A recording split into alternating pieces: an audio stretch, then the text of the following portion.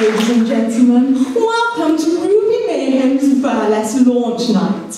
My name is Mrs. Hawkins, and I will be your compere for this evening. And for the purpose of this evening, you can call me Mrs. Hawkins. Now, unfortunately,